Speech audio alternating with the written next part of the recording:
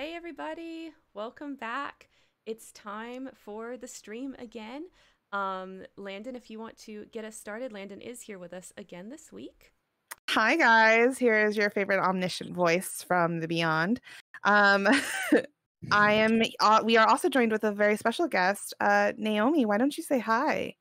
Hello. Hey, Naomi. We're so excited to have um, her joining us this week. Uh, and we've got some really exciting stuff planned for you guys. Hey, Lunar, how's it going? Um, hey, oh, hey, Bree. Oh, I'm so glad you could make it. Uh, I saw that you followed, um, so I was really hoping you'd be able to come in and join us. Um, so thank you so much.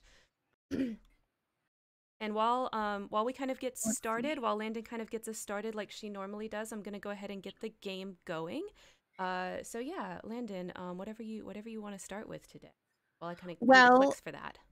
Uh, the reason why Naomi has joined us, other than being just the wonderful human being that she is, is that today's topic is villains and uh, the uh, the challenges and rewards that come with playing villains inside of an RP, and actually just writing villains altogether. I think it's a really important discussion. Uh oh. Thank you for the follow. Oh, was! Lunar Daydream. Thank you so much. Uh, we think it's just a really important discussion that every single story that has ever been told has an attack, an antagonist or a villain of some sort. And so being able to play one, being able to foster an environment that one can be played is really, really important. And so we wanted to discuss it. Yeah, yeah, because conflict in in roleplay, that, or at least the type of role play that we're doing, where we're really writing stories, is super important. So I think I do have a, a video like on some of my specific tips for playing and creating villains and things of that nature. But um, but we both think that this is a topic that also deserves um, more than just you know a ten minute video, right? So we're gonna go a little bit deeper and get a little bit more opinions than just than just mine today. Yeah, and we all we all have history. Uh, you, the three of us at least. I can't speak to everyone in the chat of writing um villains, and uh, so we've all we've all at some point either been the main villain or a side villain within one of our stories. Yeah. So it's it's an experience that I think a well-rounded role, role player will come across at some point in time, even if it's not in a huge story-based RP or if it's someone who actually does enjoy playing a good guy, someone is going to always be a villain in someone else's mind. Uh, that's just how characters and um, and conflict works. So, but before all of that, we also want to remind people to give a follow to both the channel and then also Karen's YouTube. And to remind people that we are also turning this into a podcast, and we found a name. Yeah, we actually have a name for this yet. We four four episodes in, or five. This is the fifth episode, and we finally have a name for um kind of what we're doing here. So, uh, so Landon, what's our name? Our name Oh, is. Thank you for the follow. Yay! Our name our name is Enter Stage Window because that's about how random we are. Uh, thank you for the follow. Thank you guys so much for um for following. Yay! Um, yeah, so Enter Stage Window is a uh, traditional friendship trope, and it's also just a wonderful story trope. I always love it when a friend enters through the window in a time of crisis. I think it's a true, uh, true uh, testament to friendship. Yeah, and so I. I'd I'd crawl I'd crawl through your window anytime with consent. Same, likewise. Um, open invitation there. Open invitation. You can be the Sam to my Clarissa any day. Perfect. um, yeah, Blink. I'm always feeling nostalgic for this game. I love it, and I've played it so much that that's part of why we play it on the stream here is because it's very um, it's very easy for me, right? So I can easily play it while we talk about stuff. Um, but before we get into the topic today, uh, do we want to do favorite things um, while people are kind of filtering into the into the chat today? Uh, yeah, let's do favorite things. Okay. Uh, Karen, do you have one? I do. Okay, so my favorite thing. Okay, so for y'all don't that don't know, that don't remember from last year, um, my birthday's coming up. It's on Wednesday. So um, this was actually a birthday gift from my mom. I'm sure you guys have actually seen some of these um, subscription for uh, for like razors or other beauty products. So she actually got me one, and it's uh, it's Oh. this. I've got it right here. This is the the Billy one, and um, you can see I've, I've used it a little bit. So sorry, it's a little bit gross. but, like, Oh, it's got like this magnet here, so it has like a really nice holder. It is super sharp, y'all. So the reason why I'm sharing this, um, not sponsored, God I wish, Billy, contact me if you're interested in. But this is actually it's actually a really good product. Oh my gosh! Well, happy birthday to your fiance, Brie. Um, this so this is it's actually a really good product. Like I I, I truly um, can say that this is the best razor that I've ever used, uh, which is I think pretty freaking amazing. So um, so yeah, Billy Razors. Uh, I I got it like uh, last week sometime. I've used it a couple times since then. Um, I freaking love it. I freaking love it, and uh, and uh, I'm never going back. That's good. I love subscriptions. Oh my gosh, words are hard. I love subscription boxes like that, uh, where you can get something refreshed every month and it's even if it's just like a thing like a razor it's so it's so nice and it's just very self-carry and so it's awesome that your mom was able to do that for you yeah and it keeps me it's like another thing that i don't have to go to the store for right? So it was really nice yeah. and thoughtful considering you know everything going on right now. So very very much love it. Awesome. Um, what's your favorite so thing my week? favorite my favorite thing for this week is I was struggling between two, but we'll we'll go with one, and that is uh, the wonderful thing that is therapy. Um, I suggest everyone should get some and be involved simply because in times like world pandemics, it's really nice to just have someone on your side, uh, mm-hmm. even if it's to rant to them. And that's what I needed this week because life is, as always, crazy. Mm. So Totally That's what I've got. That. Totally agree with that. um, and Naomi, do you have a favorite thing for this week? I do. Um, actually, it's a TV show that I convinced my friend Brie, who's in the chat, to watch, Ooh. and uh, it was a hit with her, and she's currently obsessed. So that's my win for the week. What's the show? Called, Tell us about it. Called Queen of the South. Okay. Uh, it's essentially about a woman who is uh, a money changer on the streets of Mexico, um, and it's basically her journey from um, like rags to riches. She ends up this powerful cartel boss, um, and it just shows her getting there, and it's just fantastic. Oh, it did. I've I think I've seen trailers for it. What is mm. the woman who who's the star? Uh, Alice Braga. Braga. I can't say the name. I'm British. Sorry. Um, Alice Braga. Yeah. Braga. Yeah, that one. Yeah. Ah, uh, yeah. No, I had seen and I had seen and heard about this. That's awesome. so good. Um, and we're currently obsessed with uh, the villain. Uh, well, they're all villains, but um, the big villain, uh, Camilla Vargas, and Ooh. yeah, she's just perfect. And I think um, because we're, we're talking about villains this week, I had to mention her. Yeah. Well. Okay, so let's let's get into it then. Let's start. What about her makes her perfect, like the perfect villain? What what about her in particular? Well, she's just so prideful and just so determined to reach her goals. Basically, nothing can stop her apart from maybe her daughter. Um, if she had to sacrifice herself for her daughter, I think that would be the only thing that would that would actually stop her from getting where she wants to be. Um, which makes her quite relatable as a mother. Um, so I, I, you know, jumped on that straight away, being a mother myself. Um, and she's just got this tr- just tranquil fury that she just never loses Ooh. her calm, and when she does, pops off big time, and it's just really good to watch. It sounds like okay. major Cersei Lannister vibes. I'm not gonna lie, which she's one of my yeah. favorites. So, um, so I feel like now I have to watch this show, right? yes, that's the goal. so I like the I like the fact that you brought in um that you related to her like i think that's something that is extremely important in a villain is that relatability. Um especially in current villains i feel like in the last 10ish years that's probably shifted in media where our villains have become instead of being the you know overall bad guys who were just unrelatable um to now being relatable humans in a way that makes them even more scarier. Yeah absolutely. Um, um, I think there's this, there's a villain that, that comes to mind that I can't ever imagine relating to him. Oh, and he's just so chilling that it, he has to be my number one villain of all time. T- give um, it to um, me.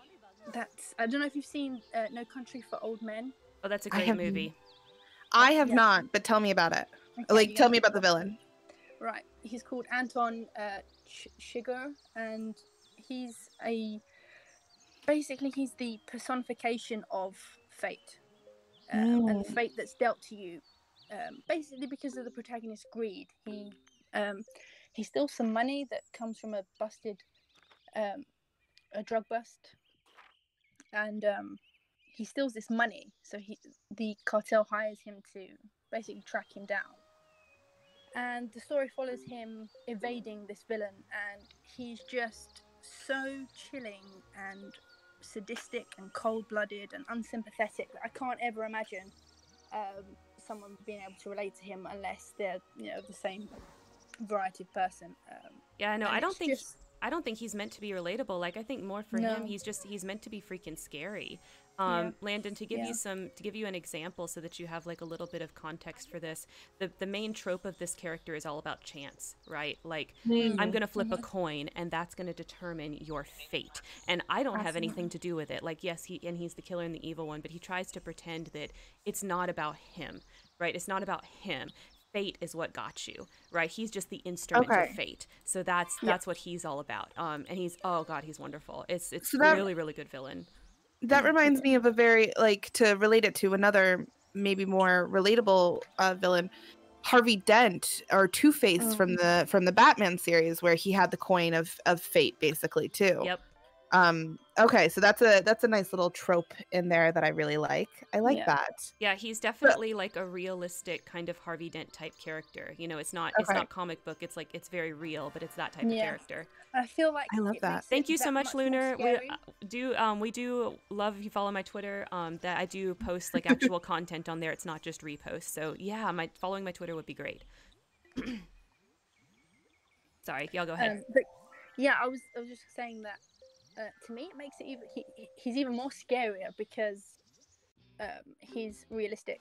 You know, you, it could be your neighbor, it could be it could be anyone around you.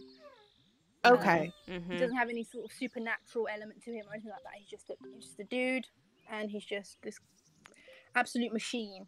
hmm And yeah, it just makes it all the more scary for me because I mean humans are monsters, you know, and that for me just it scares the hell out of me. Yeah. That's yeah, the real okay. monster was man all along, right? Yeah, yeah.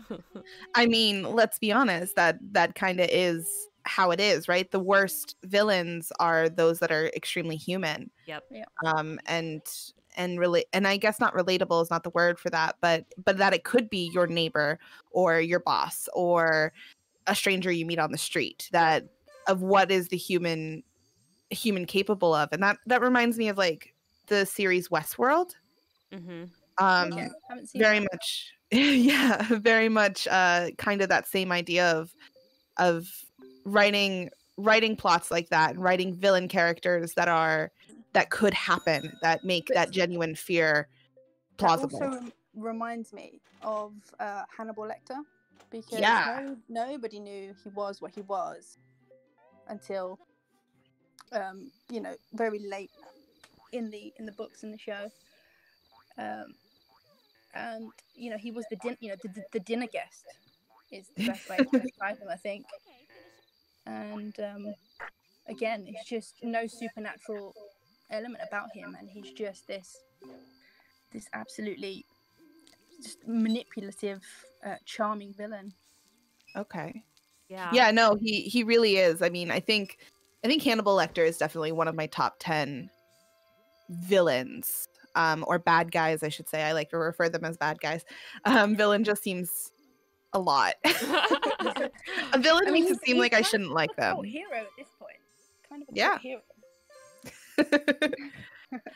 okay, so so far we've had some great examples. I want to get into Karen. You mentioned Cersei Lannister from Game of Thrones. Yeah. Um, tell me what you love about her as a as the villain of the series. I mean, she kind of is, right? She's yeah, like arguably, main. I I think she's the main. Arguably, I could say that there are a lot of villains, um, and almost every character except unless they unless their last name is Stark uh, has a villainous streak at some point. yeah. Um, but what did you love about Cersei? So Cersei, like I, I have a very deep, deep love of uh, of villain characters. Um, they're often the most um, complicated characters to me.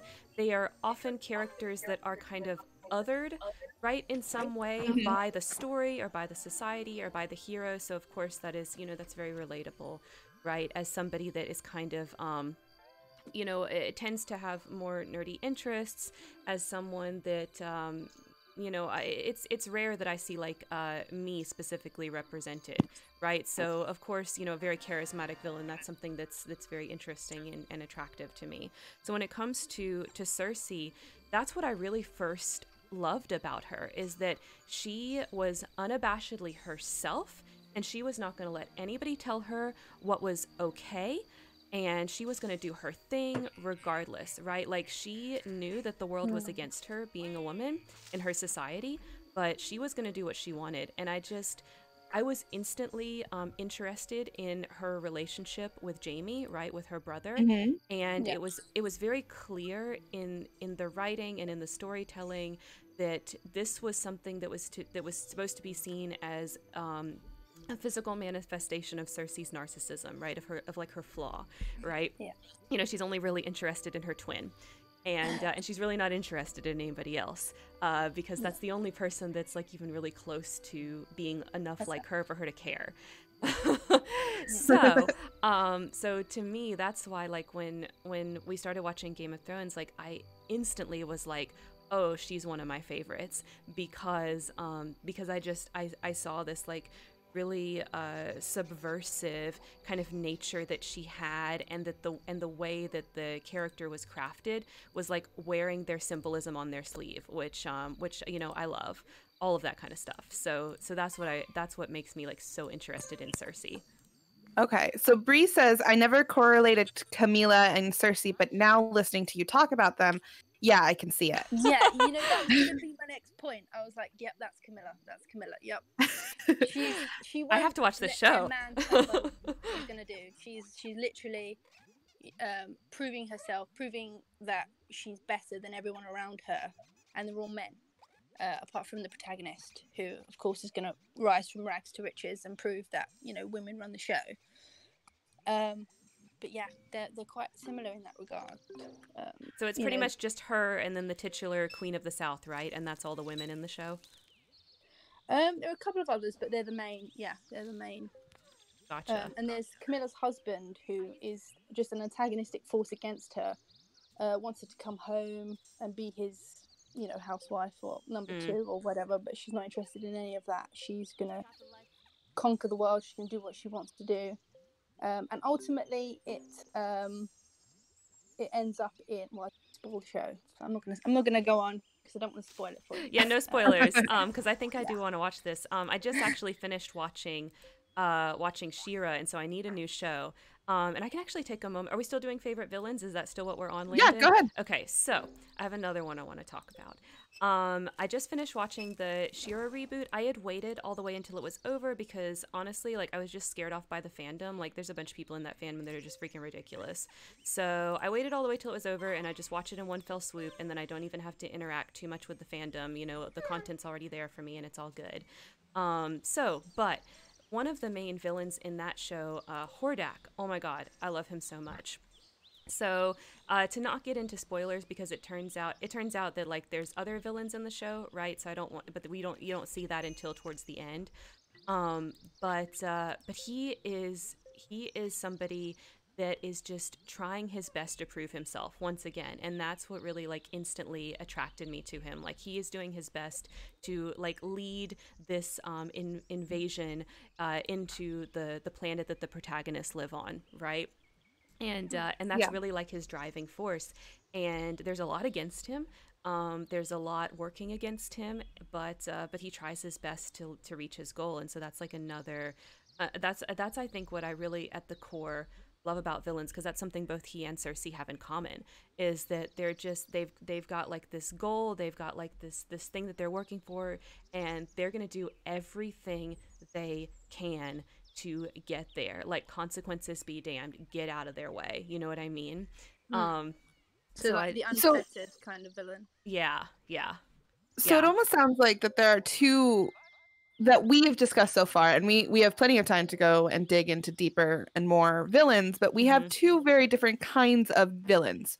We have the villains that have something to prove, like the Cerseis and Camilla of the worlds. hmm Um, and then we have the could be anybody next door neighbor in hiding sort of villain villain like the Hannibal Lecters and um we discussed another one but Yeah, yeah. the so it The sounds no like for old men. or- no yeah old men. the. Ant- Anton that was his Yeah. name Yes. yes. um, that we have these two very distinct types of villains that fall into these two categories. Do can you guys think of any examples of villains that fit maybe outside those categories, or if there's another sort of category that we're not thinking about? Yeah, I have an example of another kind of villain I really like, and this is so cheesy in anime, but whatever. Fuck it, I love it. We um, love it, go. vi- villains, villains that eventually get like a redemption arc, and then they become kind of like you know the friend or the weird uncle of the I love that. Like Oh. okay, like Yeah, yeah, Vegeta yeah. from Dragon Ball Z, right? Like Yeah. He- he's so bad, like he does so many actually. bad things, but by the end, he's one of the he's one of the guys, right? and Yes, yes. Vegeta was one of the first characters that I really fell in love with in any sort of show or movie or anything. Um, fantastic. so yeah, villains like that freaking love. And I know there's other examples. Um, so if y'all think of other examples, like Well, let's I talk have- about them too. Give me a in my top five. oh go. villains Is actually kind of. He does get a re- sort of a redemption arc in the second movie. Um, Bree's gonna know who I'm talking about now because I made her watch this as well, and she became obsessed. So, yeah. Um, you should have watched Sicario. Um, if you haven't seen it, have you? Have you two seen it? No, No. no, I haven't seen that. Right. Yeah, I- Regina Mills. Regina Mills is a really good example of this, Brie. Yeah, I totally Ooh, agree. Yeah, yeah. Um, so his name is Alejandro, and he's a Colombian hitman hired by the CIA uh, to basically take on Mexican drug cartels. Mm. Um, and this all um, sort of came to light because his family were killed by the cartels. Oh, Um, it's a bit ambiguous as to who exactly killed them uh, in the second movie. I won't give you any spoilers, but um, basically, he's the pers- personification of wrath in the first movie. He is Ah. going to get these cartels down because they killed his family, no matter what. Um, motivated by revenge, um, and you kind of want him to succeed when you find out that he's the, you know, he, he's driven by you know the personal loss. But in the second movie, um, he is tasked with kidnapping a young girl, mm. and it kind of puts him in the headspace of his kidnap uh, the kidnappers that kidnapped his daughter. And he's kind of reliving out that trauma, and it kind of sort of spins his head a little bit, and he becomes this protective figure to this young girl. Uh, so he can't go through with redeems- it. Sorry. He can't go through with it, right? Like he Yeah, has to protect her instead. Exactly. He's ordered to obviously love it. uh, do away with her, and he, he can't do it. Um, so the movie is basically him getting her to safety back to, um, and it's just it's just fantastic. So you should watch. Sounds really I good. think I think the idea of a redemption arc is such a wonderful like thing to play. Like Yeah. as a writer, I love a good redemption arc. I can't think of a time that I've actually done a redemption arc, but I love them. Well, we were we were working on it. We were working, We were on working in on one. Reborn, but well, because you know, role play is a little bit different, right? Like sometimes you just have to end them because everyone else is bored. So, and redemption arcs take a lot of freaking work, like a lot of freaking work. Well, I think that's because w- in order to satisfy yourself as a writer and uh, the other people involved as readers, you have to, first of all, there's like so many good steps, right? You have to Yeah. make a convincing villain that Yeah. people are actively invested in. If it's someone that they, that people don't care about, then they're not going to care about the redemption arc of it all. Yep. And then you have to do like a realistic transfer of redemption. Um, and what does that look like and what is involved in that? And then you have to make them a likable good guy while also still retaining the same characteristics Yeah. as a villain, Yeah, so as they what they had like as a villain. a totally different person. Yeah, because you you you can't have like they still have all of the history and baggage and, and trauma and and character development that they had before. It's just that they've had even more. Yeah. And so being able to successfully write that In a can't just have them satisfying thing. up, Yeah. Yeah, be changed or- you know, exactly. lo- love does a lot, but it, you know it's not going to cure some of the you know the issues that made them the villain in the first place. It's Right. It's cure all. It's going to help the development. It's going to aid the development, but it's not going to cure it.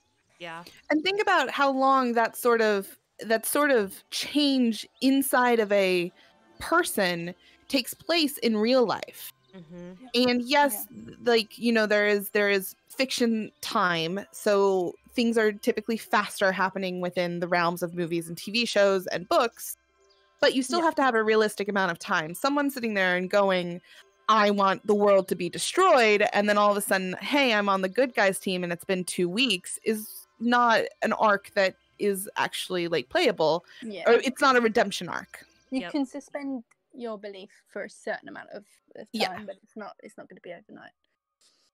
but for for like shifting shifting allegiances takes a lot and so it just and shifting worldview takes a lot too. So being able to pull that off is a very difficult thing uh, that i love. I just haven't done it yet. Well, because I think in if you think about it realistically, like we can have big moments, but I, I think in reality, when you have somebody changing their worldview, it's like a piece by piece process, right? Like it doesn't happen overnight. Maybe there is one event that sort of kicks it off, right? And that's a great story moment, but it's not going to be something where it's like, you know, um, all of the time it, it- where that one event and then all of a sudden they're different like that's not real like the, usually once that person changes they still have baggage and they still have tendencies left over from what they were like beforehand right like so i'll give a good example of this um and this this goes into kind of the a little bit of the poor writing in this show that that happens but um crowley in supernatural um he has sort of a Mm. redemption right he has sort of a redemption right and becomes kind of friends with the winchesters but then like they constantly get surprised when he goes back to you know being a demon and does demon things and goes against them and it's like dude wh- like why are you surprised why are you still trusting him just because he's nice to you sometimes stop it Yeah. Yeah.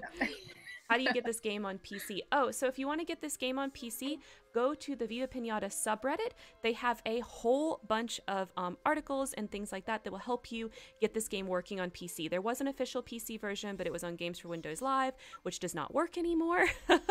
so if you want to play this game on PC, there's a couple other things that you have to do after you get it, but the stuff on that subreddit will walk you through it. So go go check out their pinned resources there. I very quickly just wanted to touch on the, and I kind of touched on it earlier, but how the villain has transformed within stories from like how they were originally pr- like, like I look at it comic books or these villains that just want to do chaos and destroy things, and there is no personality behind them other than the fact that they are villains. To how we now, you know, 20 years later, are really connected to the that villain story.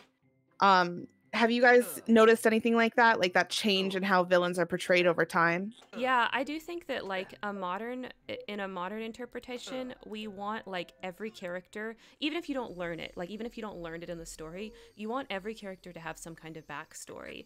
Um, I do think that there's still a lot of value to be had in like villains just for the sake of you know villainy, and you don't ever get to learn anything about them. And those are great characters, but I think that a lot of readers really expect to understand why a villain is doing villainous things. And as soon as you add that why in, all of a sudden now there's sympathy there, right? As soon as you know what that why is, all of a sudden you're like, oh, I see how they did that. I maybe could end up doing the bad thing too. And I think that that's shifted a lot, and, and even more so, like uh, as as there's more push for like everybody has a backstory, um, we get that more and more and more the blurring of a line of what's actually a villain and what's not. I think as well because nowadays TV is so popular, they Yep. have more time to do that. You can dig into villains' backgrounds, um, and we want that. You know, we'll uh, consume that happily. Um, so I think that was a big uh, reason why these days you have that shift where you can really look into a, a villain's psyche, into the background. You know, what happened to make them the way they are today. Yeah, it's much harder to do in a in a movie format, right? Because in a Yeah. movie you have like two hours max. I mean, every some we have some movies that are a little bit longer, right? But basically two hours max, and uh, and then it's done. So you only have so much time, so you have to tell these really concise stories. But in a TV show, you sometimes get seasons upon seasons upon seasons, so you can like go into all this great stuff. Um, Brie has a good example. Maleficent was essentially a villain when you look back through the lore, but nowadays with the Angelina Jolie, so that's the the Disney the remake that they did, um, she now has a lot more heart and reasoning with in modern day adaptations. And yeah, I think that that we see that a lot. Like we we want that. Um, you know, we want to know like why, even if the original story doesn't have it, we'll add it in a lot of times. Yeah. Um, and I think that's also paved the way to being able to do anti-heroes. I know this is a little it's it's edging on the idea of heroes and stuff like that, and this is going to be strictly villains. But that idea of having a gray character also be good, and like, what is the real definition of a villain at this point in time? yeah. Yep. Like, And- like the Punisher. The Punisher comes to mind when we talk about Yes. Deadpool being another one. I know he's more hero than necessarily villain, but being willing to do bad things, really proving that like the idea that villains don't think that they are the villains, right? They're what Yeah. makes I think an important thing that makes a good villain is that they don't think they're doing the bad thing. They think they're justified in their actions. Yep. Because that's reality. Like nobody that thinks they're a villain.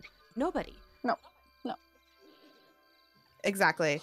Um, so I think that that's something that because of that transformation and being able to do things like take M- Maleficent's side of the story, who was traditionally a villain, and make her more gray. I wouldn't necessarily consider her a protagonist. She is in, of course, her thing, but I wouldn't consider her a hero in her story because she's still, you know, morally, you know, cursed a child to Yeah, die. she still does bad things, right?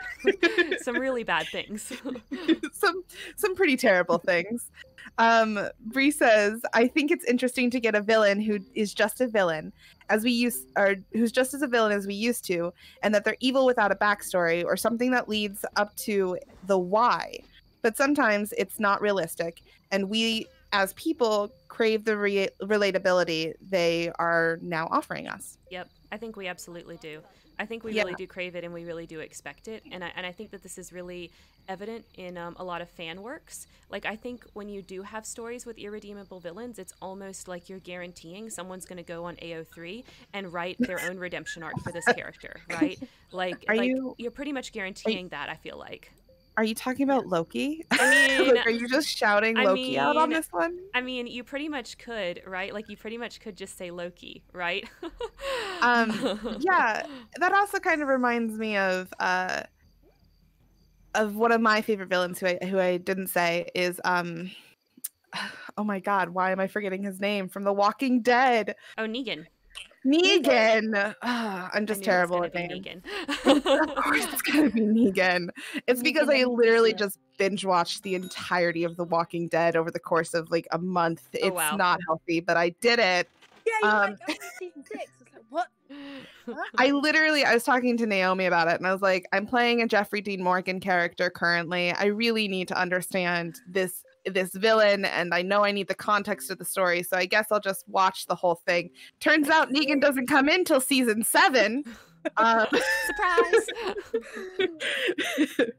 but yeah, uh, Negan being able to like, uh, there's so much crave for that like background, and that it's he's another character that we that he was kind of just at first evil for the sake of being evil, and then as fans fell in love with him, the writers finally gave him somewhat of a backstory and also now a redemption arc. mm-hmm. So they're doing it right, I guess. And I think that that's so like going back to what Naomi said about TV. That's so much easier to do in television, right? Because you can you can basically you can release a season and then you can look at what the fan feedback is and then you can craft something that's based off of that, right? Um, that you're like that that you're wanting to you know if the fans really like this character, it's like okay, well how do we keep this character around? How do we keep it going? Um, and it almost feels like in a way that television is is working in in the in the writers' minds, right, in the producers' minds. It's almost doing a lot of the same functions that we do in role play, right, where we just kind of set things up, and then it's like we have sort of a plan, but um, but plans are for losers, and uh, and they'll change based on what everyone's responding to and what everyone starts to enjoy, right. and I feel like television a lot of times works the same way. Well, Yeah. I mean, and we can also let's. I think television works the same way, very much so, but I also think it can ruin really great villain characters. Oh, it can. Uh, let's let's see if we can guess who I'm talking about. Oh my gosh. Um, his his name is Klaus Mikaelson. Um, of the it's so fact sad that that they never got to do the final season of um, the original. So so sad. Um, uh, yeah. we Yeah. Don't talk about that. We don't talk about it. Mm-mm. Nope.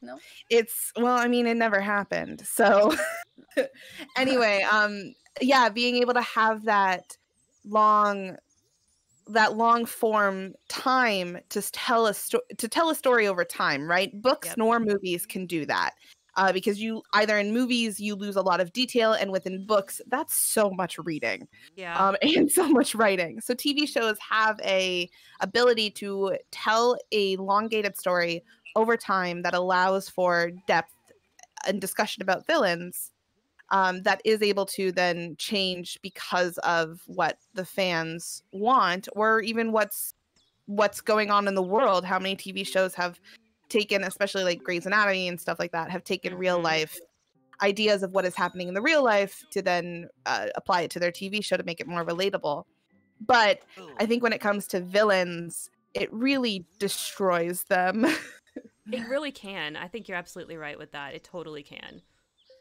Um which is unfortunate but Yep. you know what that's what it is Well, and that's and that's I, and I think that kind of goes to like the our, our mode of production, right? And when it comes to these these works and um, and television and things like that, is that it's beholden to making money, right? Like at the end of the day, it has to make money. So sometimes I think that these these shows and uh, they'll do things that that they think the fans want to see, but fans don't always know what they want. Like let's be real, fans don't always know what they want.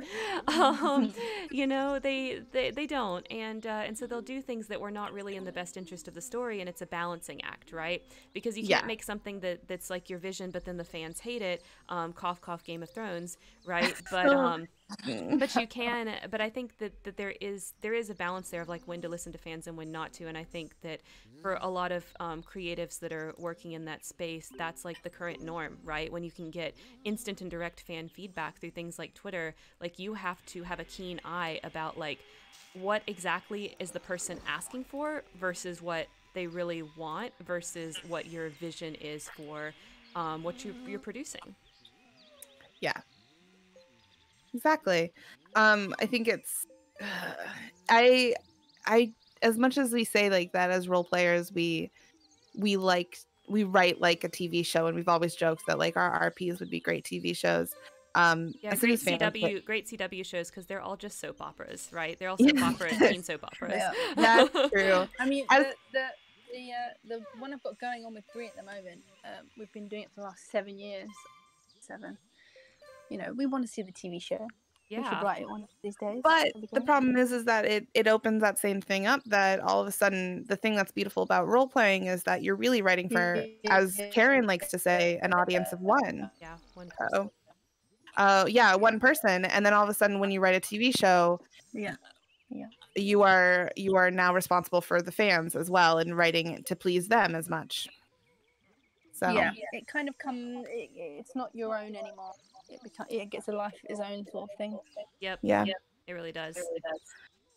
all right so what are we we've discussed some of the villains that we really like and have in have seen um and we've kind of hinted along their characteristics but what are some of the absolute characteristics that makes the ultimate villain that you think every villain like if you had to make a villain potion what is going in that villain potion Ooh. Oh, I have to think about this. If y'all have answers first, um, go for it. I have to. I, have, I need a little bit of thought. I think drive. drive yeah Yeah. Yeah, which isn't necessarily a bad thing, but you know, Well, I like to. I think it's drive, but it's also kind of a ch- like I like the something to prove that we talked about with Cersei and, and Camilla and, and some other villains that we've spoken about today, and that that's something to prove. Like Thanos comes to mind that he that Mhm. he has this goal in mind and he has something to prove, and so he is going to do everything he can to prove that goal. Um. So so a chip on his shoulder almost too. Yeah. I Yeah, think another yeah. thing is is willingness to conflict. Like it's impossible in my mind. I mean, maybe someone has done a good one, but I've never seen one I liked. So it's impossible in my mind to have a villain that is averse to conflict, right? Like you got to be willing to get your hands dirty. You got to be willing. The character has to be willing to like say, okay, well, this this is doesn't fit my morals, but m- my goal is so much more important than my morals that I'm going to do it anyway, right? Or they're willing to do the mental gymnastics to justify their actions, or um, Yeah. or things like that. I like the way that you put it as far as justifying their actions that they're willing to bend morale the the idea the like society morality not necessarily their own morality in terms to finish their goal Yep. Um that they're willing to to do things like kill people or uh, you know take the take the uh the harder route and the more severe route Yep. Were you going to say something, Naomi? No, no, I was just. Oh, listening. okay. Sorry, I thought I cut you off. um, yeah, so I agree. I agree with that as well.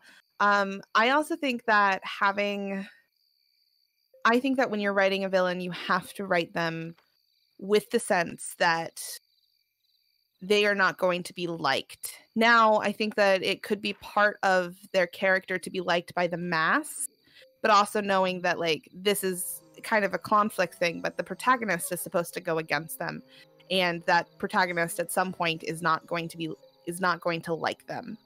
Um so they have to be okay with that. Yeah, I think that's a that's a good that's a good thing to remember. Like your other characters in the story kind of can't like them. Yeah. uh, if Well, everybody some- likes the villain, they're not really much of a supposed to villain. before the before the villain, you know, is sort of um, Revealed. Revealed, yeah, yeah. I I agree, and I think that's something that we will obviously we will probably t- discuss in depth on in a in a few minutes when we talk about challenges of playing a villain. Um, that that before that reveal happens, um, but also being aware as the writer and the creator of a character that that reveal is going to happen, and at some point, people it doesn't have to be everybody, but people are going to dislike your character that character, Yeah. Yeah. or that is the purpose of it. And it's great if it happens. You know, it's Oh, it's it's the best. the I win. I love it when the entire chat hates. Yeah, I love it when the entire chat hates the your character. It's the best feeling in the world. I sense a tiny bit of sarcasm there. no, actually, I I want to say that like if I can successfully make people go, "Oh my fucking god, are you kidding me?" or "Oh my god, I can't believe he did that." I I feel like I've I've succeeded as a villain. Mhm. Um, but it also kind of sucks too when when it's continued to be ragged on by that but um that'll we'll discuss that i think more in depth when we start talking about playing a villain right now we're just trying to Yeah. what is the Yeah. archetypes of villains Yeah.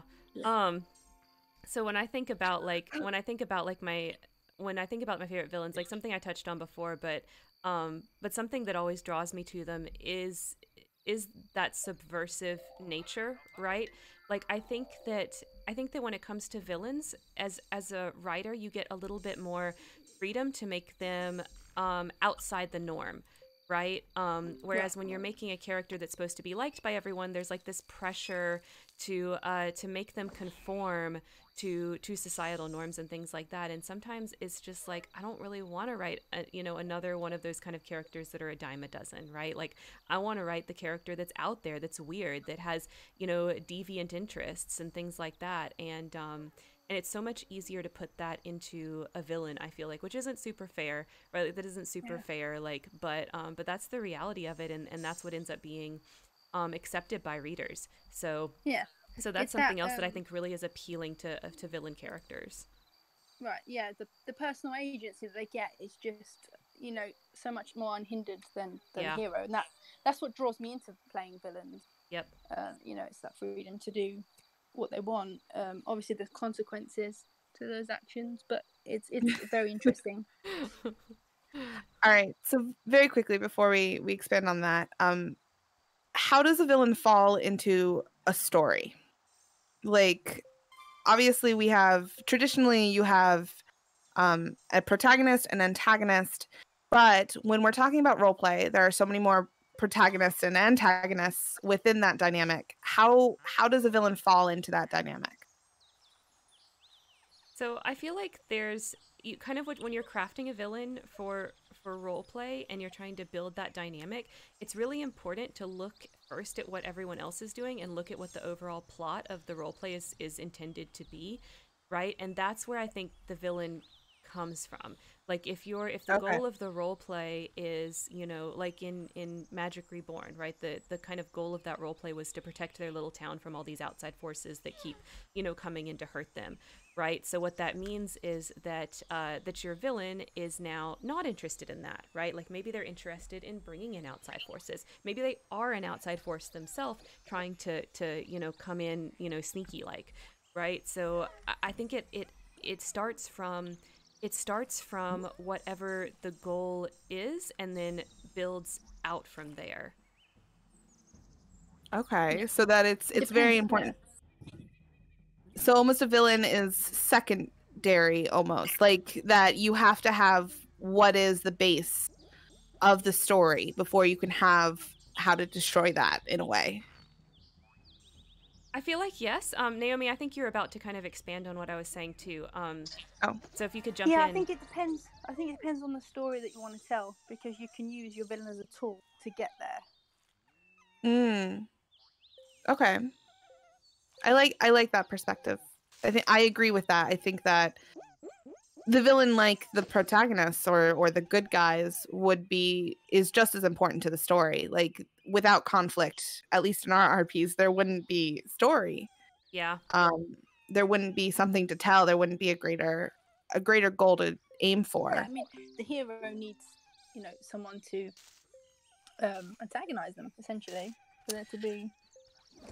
I something think it's- interesting to follow. Uh, you know, it depends on the, obviously the genre and the story that you're telling, but Yeah, I think it's also very interesting that within RP, um, at least in eh, at least in my experience that I'm like thinking of, except for LOOH, um, and and arguably now in our current RP, that there are typically multiple heroes and typically one villain, yeah. Yeah. Typically. which is which is just very i think fascinating as far as story goes um not necessarily like not currently not currently in atlantis i feel like because i feel like there's a difference between warring tribes and someone trying to destroy the status quo um, yeah, for sure. I mean, I think that Atlantis that we're doing right now was purpose built for us to play villains a bit more, right? But that's Yeah. not always what we've done. And whenever we don't explicitly build something like that, what we end up with is a few villains and mostly people wanting to play good guys. Um, and I, I, I have some I have some theories about why that happens because I don't think that's just us. I think that's role play in general. But um, but I don't know if I am I jumping the gun if I if I say why. No. Are we gonna get go okay. ahead and go ahead So- tell me I think that that comes from people in role play generally being conflict averse with their characters. And I don't think that's necessarily a bad thing. I do think that a lot a lot of roleplay to be successful in it, you have to make a character that's likable um, over anything else because at the end of the day, you got to get interactions, right? If your characters can't sit in a room and talk to other characters, it's not role play's not happening, right? Role play's not happening. so there's certain limitations on what you can do with villains because you have to have a character that's willing to just sit down and have a normal conversation with another character. Like that's required. If your character can't do that, they cannot they cannot engage in the role play, right? so I think It's that, true. yeah, so I think that that what that turns into is a lot of role players have these various experiences um, in regard to how they role play and how it's built up and things like that. And what that ends up turning into is that over the over time, role players become more and more conflict averse because what they find is what actually works to get role play is to make a nice character that doesn't want to hurt anybody that's just chill and does you know does their own thing. And and it kind of it kind of makes it so that sometimes people go too far right and they end up with this super passive boring character. I don't think most people do that but i think what most people realize is that if they want to have lots of role play interactions and and in, in and engage with it a lot, then they kind of they they can't play a villain. Um, and at the end of the day, they just don't want to put in a huge the huge amount of effort that it would take to to play a villain in role play, right? Because it does take more effort to play that character it does. that can't as easily just sit in a room and chat with somebody. what were you think it does take more um, more experience to Yes.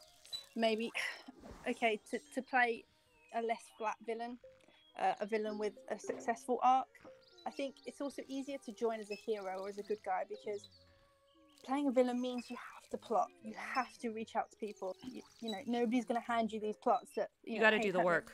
well maybe landon will but maybe But most people Um, won't, right? Most people won't. Most Yeah. people uh, won't engage with you because they're like, I don't want my character to get hurt. I don't know. Yeah. What if what if we end up doing something that has consequences that I can't get out of? You know, i- interacting with the villain character takes away some of their choice as the role player. So, um, so it can be a challenge. So you have to be the one to reach out to people ultimately. yeah and it's also I- easier to join as a hero guy because I think it takes an amount of trust in the people that you are role, Yeah. role playing with to be able to play a villain. Um, and if you don't know the people that you're starting out to roleplay with, I think that you know it's just abundantly easier to, to join as a good guy or someone that's that maybe be neutral. Mm-hmm. I totally I agree. agree. Like if I'm joining a new group, I'm not gonna bring a character that tends to be more of a villain. I'm just not because I don't know these people. I don't know what their limits are. I don't know what's gonna Yeah. freak them out. Um, I don't know what's going to cause conflict. What's gonna make people like upset, like out of character upset. Like I can, I don't care about upsetting your characters. Like that's part of the that's Yeah. part of the game, right? But I just don't know. Like I don't know them like that. So Yeah. I'm not gonna, And- I'm not gonna do that. I'm not gonna bring a villain until like until I've really gotten to know this group of people. And this is why I don't RP anywhere else but in our group. oh my god. But, Because like, I- I think with what we're doing now with Atlantis, it's basically a license to be bad. Yes. You know, if you don't read the synopsis, the plot, and think, okay, I'm gonna make a villain, then it's not for you.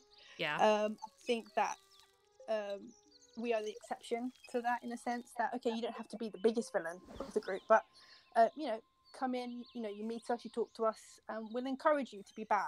Yep. That's basically that, you know.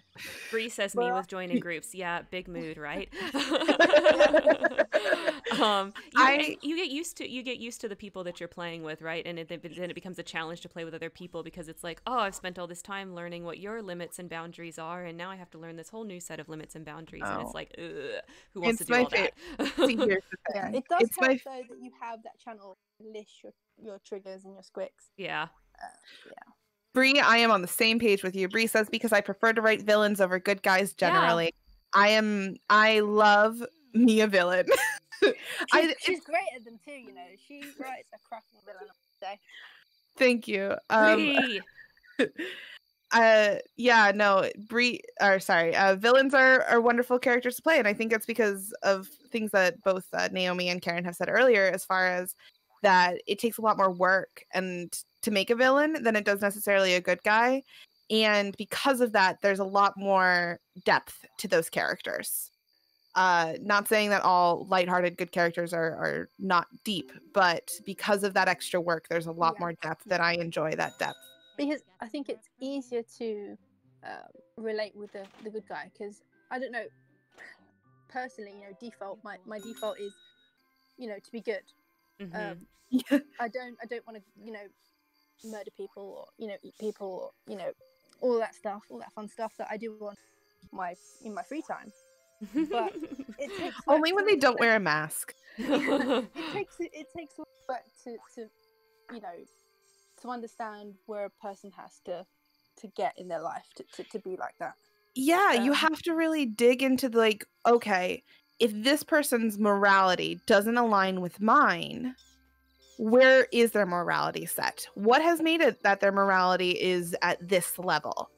Um how did it get there? What are their morals? Like you have to think of all those things whereas when you have a hero or a neutral that morality is already kind of naturally aligned with what you think is okay and what you believe is good. Yeah it Um, conforms with you know society you know what society is telling you you know you need to be. Yeah exactly. Uh i think that i think i think that's a huge reason as to why people write villains. I uh, just to say getting back to like the idea of going into a new group or having people come into a group especially it is my favorite thing sometimes during atlantis to just see a new person come in and then naomi and i are in the middle of a twin scene and we're just like, let's test it. Let's see how long they're gonna last because really, this is fun, Yeah, and oh, you I never think know, right? And you never joined- know. someone- someone and you joined, never know. I think it was uh, Jane and she was like those are the twins I told you about yeah, that was that was fantastic. Oh, what? Do I did I miss something? We joined her role play as the twins so they had a Oh. reputation over there, and then when she joined, someone else joined with her. And she's like, "Those are the twins." Those are the twins. Atlantis is always accepting apps, Apspree, and you know, and this actually goes out to Summer too. So I know Summer, you're busy right now, but hopefully you'll watch this later on the VOD, um, on YouTube or something. But uh, or on the podcast. yeah, yeah, or on the, on the podcast, right? Because it's going to be on Spotify and stuff too. But yeah, Atlantis is accepting apps. Um, you know, if you if you guys are kind of if people listening are kind of feeling what we're talking about, and you're like, gosh, I really do want a place to play villains. Um, you know, we have a we have a we have a role play that's purpose built for that. So if that interests you and um, and you want to play villains, you know, out of out of out of that, and you know, now I would say that out of character we don't support a lot of this kind of stuff, right? So if you're there because you're like I like being a troll, like that's it's not for you. It's not for you. Like if you if you want an excuse to be mean because you wish you could be mean in real life, it's not for you, right? But if you enjoy these types of characters and you enjoy writing these types of characters with a group of people that's not going to get easily squicked out by a lot of stuff, Atlantis might be for you. Come check us out. In fact, I'm gonna I'm gonna up that ante and go. I dare you. Like, there's a lot of things happening in Atlantis that I'd be like, if you think this is just the place to go wild, right? Atlantis is. I I genuinely believe that as long as it's not trolly, as long as it's serious, as long as it's a believable villain character, we're gonna sit there and gonna be like, yeah, no, keep going. Let's see Yeah. how far you can take this. We're fine with it. Yeah. It's basically a gangster's paradise. I've been saying this since day one. It literally That- is. Literally is. That is the tagline, yes.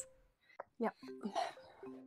um yeah so i think i think that that is the fun thing oh Bree said something i just get so nervous joining groups i tend to hesitate but naomi has talked a lot about it and it sounds so cool i'd love another place to write in an atmosphere like this listen we we're super chill um and and karen has discussed this in her videos a lot that we're all adults uh, within atlantis we have several single parents we have or several parents in general we have college students, we have people with full time jobs, we have people who have an array of all three of those things.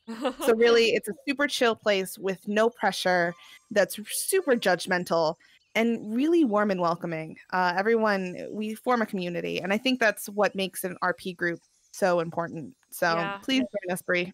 and I think at this point, with the way that we've grown and you know how old some of us are that have been in this group for a long time, I can't see us ever going back to something that's more of like you know a PG or even a PG thirteen rating. Like even if we Yeah. make um even if we make a chiller RP next that that isn't like Villains Gone Wild, right? Um, I I suspect that we'll still be an eighteen plus space that is open Yeah. to people exploring you know whatever kind of craziness they want to explore.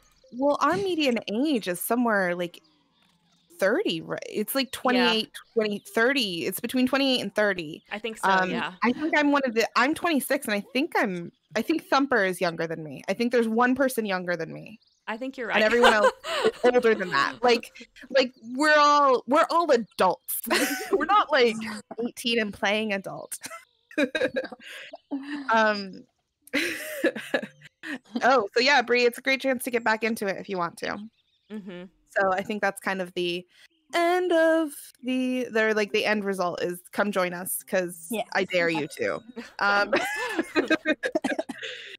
uh yeah, so let's get into us playing villains. Uh okay, when we kind of been talking about that anyway, but we have all played villains to different sort of villains, whether it be the ones with a chip on the shoulder, whether it be the ones that just kind of want world domination, whether it be the ones that are, you know, goblins. I'm looking at you for damn and Naomi.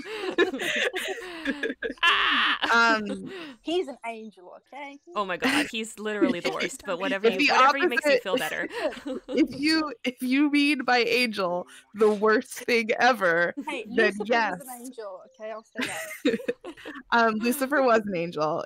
yes. Therefore damn is a- is Lucifer. Um, Um, sure. Yeah. Okay. But i what is some advice when when you're going to tell a newbie how to write a villain? We've already talked about like you need depth and everything like that and that it and that you need a little bit of a thick skin and that it takes a little bit of time. But is there any other advice that you would say about writing a villain and and the story arc of one I really think that like the the having a thick skin really is like my main piece of advice. Like when I see people fa- want to they try to play a villain and then they fail, this is what happens. They get so worried about like, "Oh, well what does this mean for me as a person? Does this mean I'm a bad person? Oh no, so this this person's mad at my character. Ah, this hurts that someone's mad at something I did." You know, um that's where I really think a lot of people get tripped up is is they realize okay they realize on a fundamental level okay to play a villain I gotta have my character do bad things. But then when they do it like the feeling that they have inside about how like that could potentially hurt people or that could like reflect on their personal morals in some way is like really it's really deep and it's really difficult for a lot of people to get past. So I just want to say this for anybody that has that feeling it doesn't matter what you write. It doesn't matter how bad what you write is. It has nothing to do in that way with your personal morals. The relationship between your personal morals and what you enjoy writing is nuanced and complex. It is not one to one. Enjoying writing bad things has very little to do with what your morals are as a person. Um, once you pretty much reach the age of like i don't know 15 16 or so because at that point you can separate fiction from reality right like little kids can't little kids can't that's why that's why on a on a Oh. child's oh hey Little kid, yeah, You're good. Hey, uh, on cue. Um, so you know that's why like when you watch a TV show uh, that's that's like on a kids channel and it says things like oh you know commercial break now like it announces it that's why it does that because at a certain age you can't tell fiction from reality. But once you're a teenager and, a, and an adult you pretty much can. So unless unless you personally know you do not have a good sense of that you're not a bad person for writing a character doing bad things. And if someone gets upset with you for that to me, like that is on them. That is on mm. them for not having a good relationship with fiction versus reality. You know what I mean? Yep, Hey! It's the baby. I agree. Writing something is not condoning something. yeah. So if you're writing about murder or mayhem, you you yourself do not want to go out and murder and mayhem God, I hope unless they're not wearing masks. Um, just need to be clear on that. And in the United States, I should I should clarify that too. yeah, sorry, we're talking about Uh, the COVID situation in the U.S. when we say that. Just to be clear, Yes, that whole thing's a little bit angering for us. So that's that's what that's about. anyway um i think that yeah you i think that there is this idea especially with the idea of tumblr like when tumblr got taken over by um oh my god what are they called antis yeah. uh when when they when tumblr got taken over with antis as far as this like idea that if you are writing something or even thinking something you are a terrible human being and that's not how that works It's more Your complicated brain- than that. It's more complicated. Oh, hey, Summer. I'm so glad you could join us. um yeah hi summer but it's it's not any more complicated than that and wanting to explore things wanting to write things out it doesn't make you a terrible human being also So it, it, it can be cathartic as well in your own life. You know, it's Yeah. Yeah. to to explore these things that you can't in your everyday life. That you know, it also may mean a lot to you to explore. Um, I know from from my own experiences. Um, you know, with, with with like you know, I lost my dad last year. Yeah. it- you know, it's a place where you can, you know, successfully get some things out. You know, and, and do Well, like, things.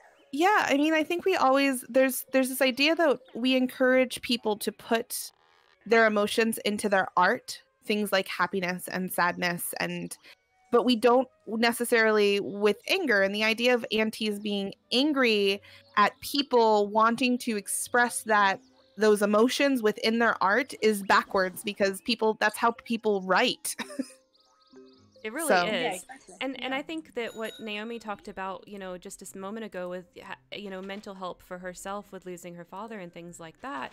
Um, you know, art therapy is valid. It's valid to to say like, you know, I'm really hurting right now, and uh, and so I'm going to explore that through art and and that's something that even that works for a lot of people that, that therapists will actually tell you to, to try out as a therapy method um you know to bring it back to landon's favorite thing right we Um, love therapy and I, and I just Yeah. wish I just wish that we in fandom would like would give people the benefit of the doubt. Like when you see somebody writing something or role playing something that's obviously bad that we would give people the benefit of the doubt and assume that like they know it's bad and i feel like we don't i feel like we assume the opposite like we assume that they don't know that what they're writing is bad but i i, I would Yeah. like to see a paradigm shift where we first assume that they know and then if we get evidence later that they they don't know then we take the actions that we need to take right Yeah. but I think we should be giving people the benefit of the doubt and assume that they've done the work, that they're not like that just because they they wrote this bad thing means that they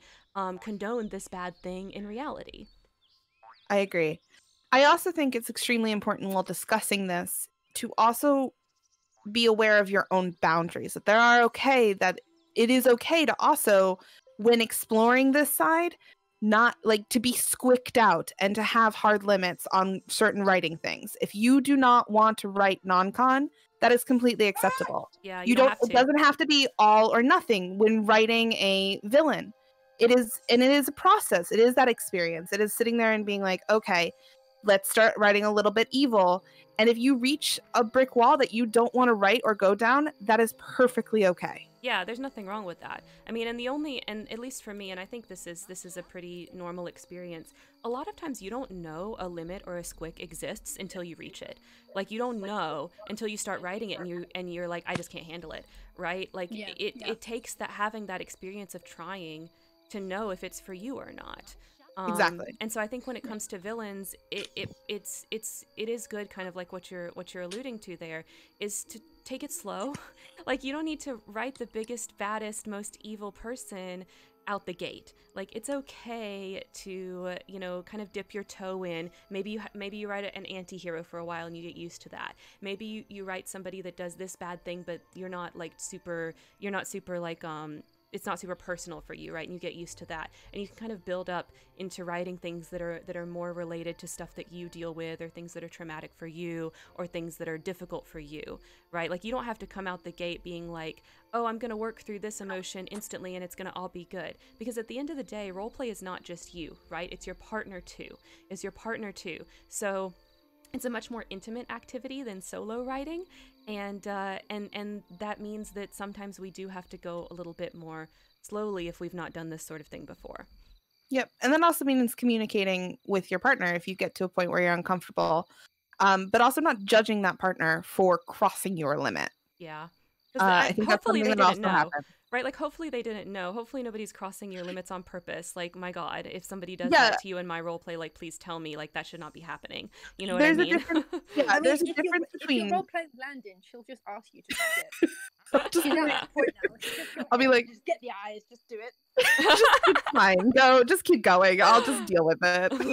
this is Oh my why I'm in therapy. It's fine. Um, but yeah, no, I think that is that that brings up an important thing is for communication. You need to communicate with your partner, and that's part of part of being a villain. Because I also think part of these really dark storylines that villains that you can write as villains that you can't necessarily write as heroes is all about checking in and communication and seeing where everyone's at too yeah uh, Yeah. which sounds i don't know if it sounds silly it sounds a little silly saying it but it's not silly like it you need to be aware of where everyone's at when writing really intense stuff yeah Yeah. Yeah, you need to keep those communication lines open so that if the other person does start to feel super squicked out, that they feel comfortable like telling you, "Hey, I can't do this anymore. I'm so sorry. You know, can I can we fade to black on this scene?" or you know, things like that. Like if those communication lines aren't open, then you end up with a situation where they just get, you know, they just keep it inside and they get resentful, and that's not good either. Because Yeah. you have to have Exactly. other people to role play. You can't do it by yourself. It's not like fic writing. It's not like drawing. As far as you know, fandom um, and nerdy activities go, like you have to do it with other people. So if you're doing it by yourself it's called novel writing that's right. I saw and this none of us want to do that yeah, we're all too lazy for that, right? So like I saw this tweet one time where somebody was like, "Oh, you know, I want to I want to write an adventure um, you know, Dungeons and Dragons story, but my friends are all busy. How do I do Dungeons and Dragons by myself?" And then there's like an, an hour later there's like a tweet underneath it that's like, "I have been told this is called writing a book."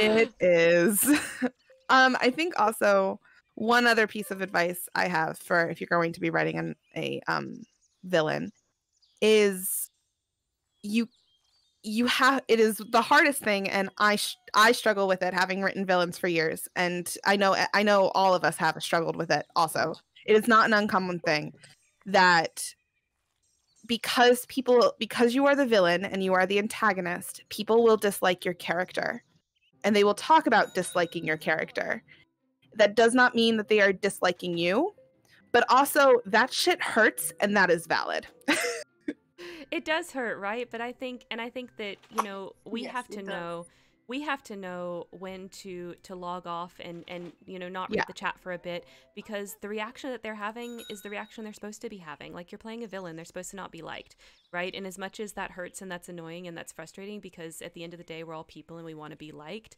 like we have to recognize like okay this is not good for me to read this chat right now but you shouldn't try to stop it i don't think because then what's the point of you playing a villain if no one's allowed to openly hate your character right like what's the point what are you doing so um so you know knowing when to just close the chat for a moment i think is really important Yeah, I think I think it gets into gray area too because you also don't want to the chat can and and has become places where it's like, "Oh, this is all that's happening and now I can't engage in my community." yeah Because- While I am while I'm very glad that this is the reaction that I was aiming for and going for and that's what I want 100%. I also like can we when we're saying god i i hate that so and so did this. He's a terrible person. I, I can't wait for him to die. Uh can we just like also tell me as a writer that i'm doing a good job? Thanks. Because because hoping my character that that i've put my heart and soul into will die is great but at the same time like i don't want them to die yet please. I'm still writing a story yeah i think Yeah, that's right. valid It's like it's like three months in. Please, I want them to live a little longer. yeah um also, I think a pet hate of mine is when um, when one villain gets all of the sort of hate and pra- praise almost. When it's like, no, but they're not actually the bigger villain here. oh yeah that happens sometimes that- too I I would like to think that that is um that is a compliment. It sucks and it hurts still as a writer, but it is also a compliment on how well your character was written, maybe versus how the other person's the other villain's storyline is happening. Um, which is not the nicest feeling when you're not actually writing a villain, but people hate your character anyway. true Um, yeah, it- and that big happens all the time. Like your little baddie gets gets all praise. Like, yeah it's it's a di- it's a difficult situation and it's it's really hard and it's these sorts of things that that require this is part of why you need a tough skin when you are writing a villain is is part of this it's not just that you know you have to write bad things it's that people are going to have justifiable reactions to those bad things yeah, absolutely. Sorry, I've got it on mute because she's. oh you're good she sounds so cute she's making such the cutest little noises she's just like pay attention to me mommy no, no, I'm sorry. I forgot the I forgot the British accent there. So it was pay attention to me, mummy.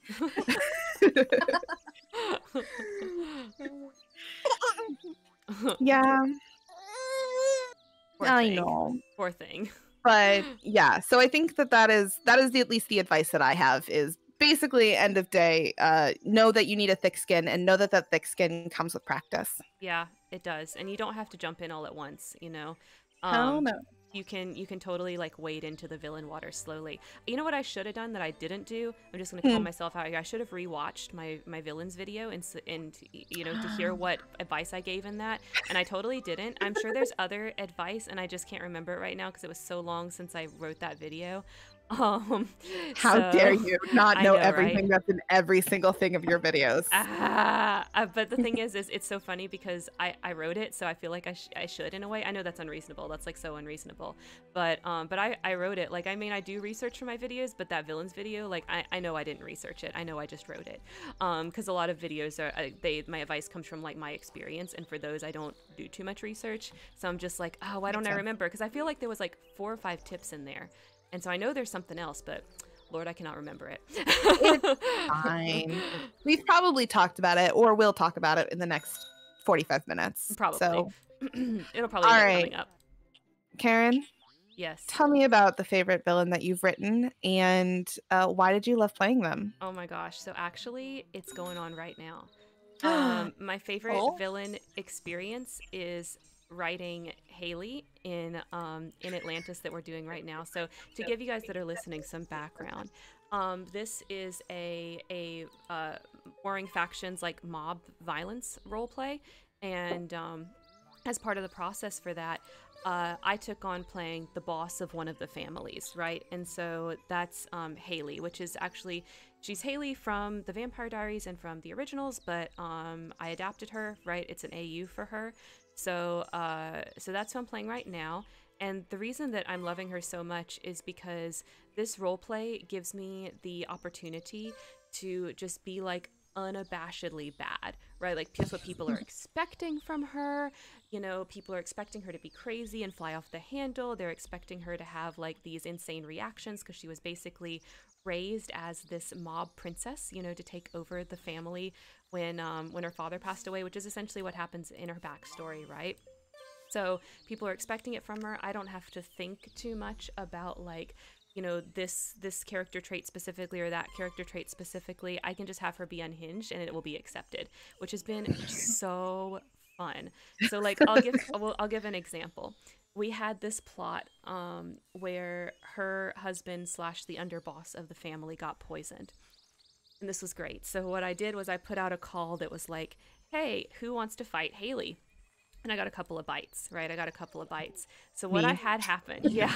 So what I had happen was as soon as um he got Elijah, so it's it's Haylijah um, that we're doing for people familiar with the originals, and uh, and uh, so I put that out, and so as soon as Elijah gets poisoned, Haley just goes off. Like she goes off. She she's a She um popped off. yeah, like she, she's a shifter in this verse. It's also we have supernatural creatures, right? So she can change into a wolf and a few other things.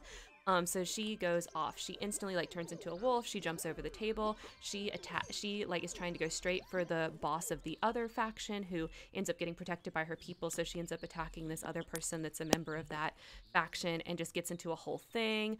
Um, she she does injure the people that she's fighting, but she actually comes away with the worst injury in that particular fight. Um, so I broke her leg, and she had to be in a wheelchair for like two weeks, and she had like two months after that where she had to use crutches and be very ginger with herself, which she really hated. She was very frustrated by that. But you know, it was wonderful. It was wonderful to just like have her freaking go off.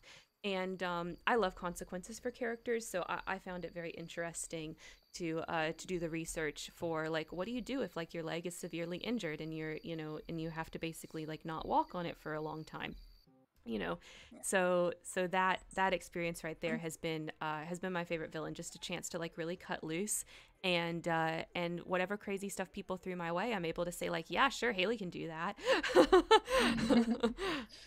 It was hilarious though. She ended up the most injured, even more injured than the husband. She did.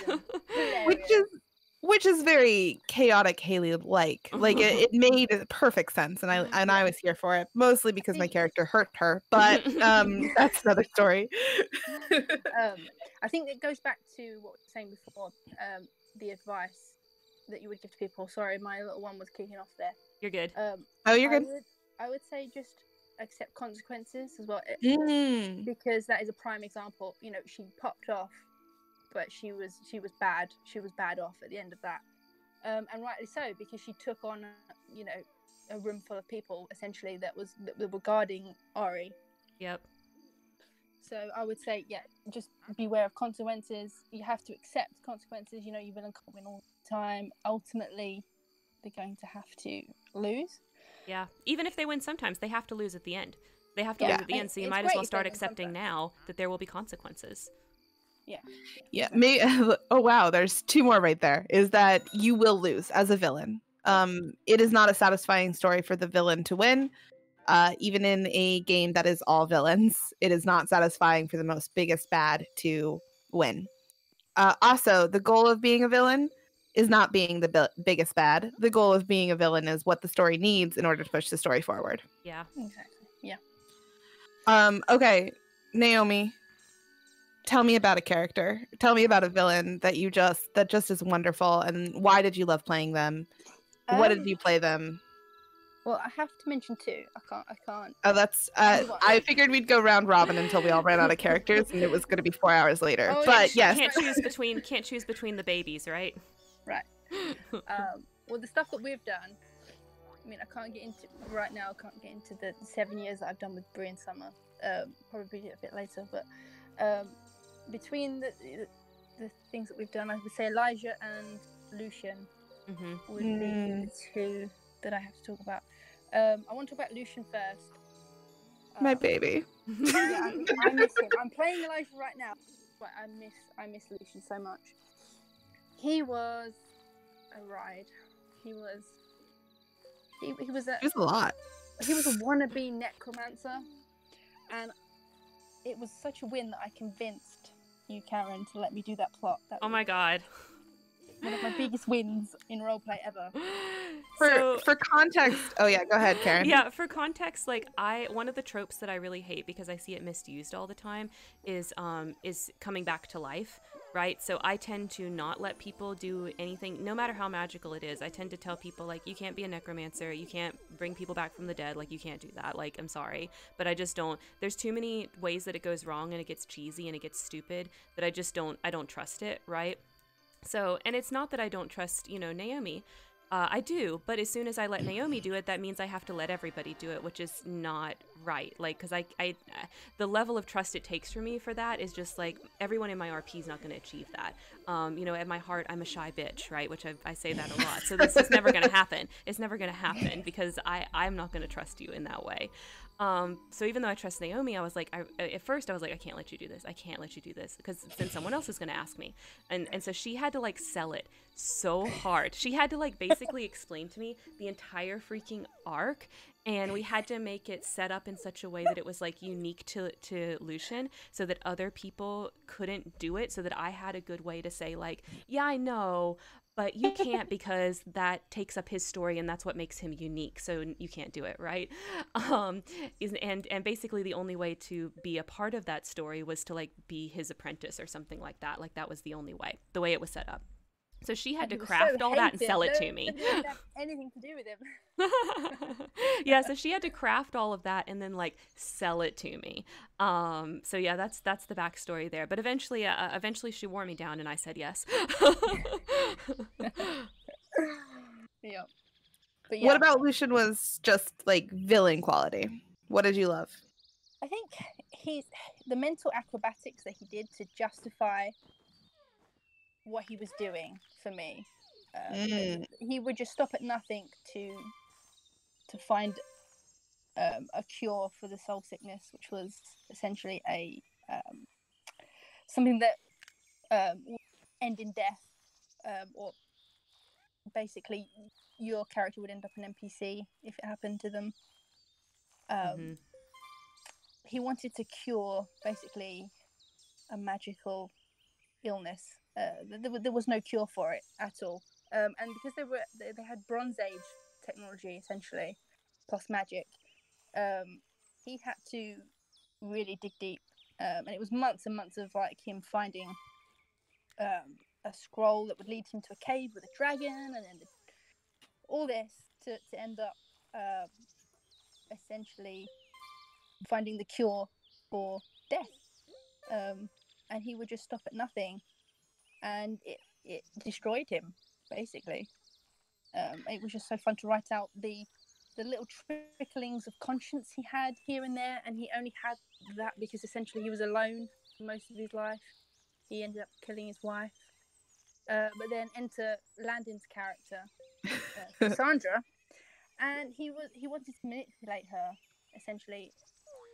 so good. Yeah, so he ended up falling in love with her, as you do.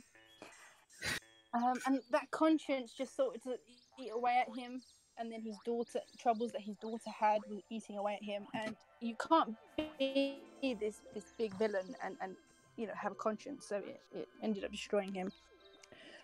And Which that was wonderful. fun to. Yeah. It That is was very great. well. I I just very a grumpy old man. I very quickly have to say that uh, Naomi, you have you have fangirls in the uh, chat right now.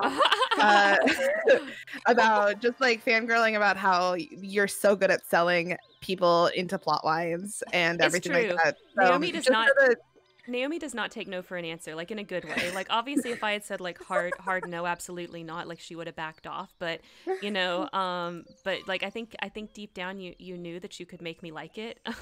Yeah.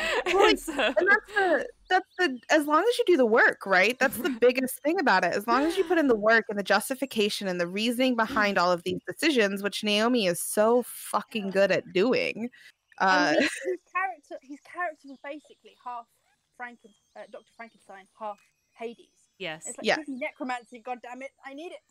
And then he like um and the, the sad thing is about him or sad for him not sad for the world as a whole um but sad for him was that he never really found the cure to soul sickness what he ended up finding was something that was that was much worse um Yeah. like yes it was a cure for death but it wasn't like it wasn't anything like what he really wanted but it was the only thing that existed and he managed Yeah, to yeah. find it Yeah. He thought that you know he could connect the two. You know, it must Mhm. be, you know, if he could cure death, he could cure soul sickness. But it ended up just destroying him. Um, Yeah. And you know that was the main thing I pitched to you was that it's not going to be good for him.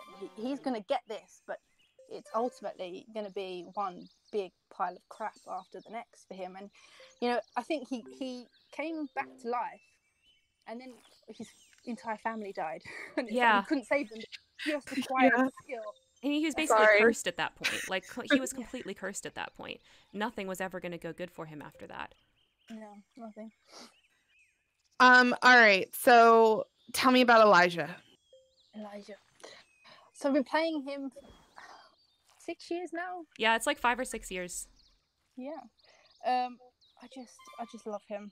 He's just the way he, he sacrifices himself, um, for his his family and his brother. He would just do, he would do anything, and he would absolutely justify anything, to, um, save his family. He, he doesn't care who you are, what you do.